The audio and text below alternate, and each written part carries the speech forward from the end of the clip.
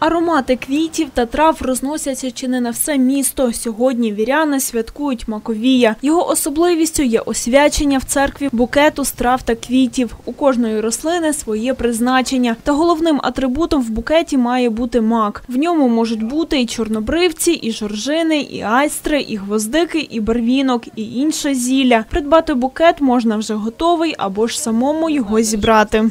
Мак освячувати, мед освячувати, воду освячувати.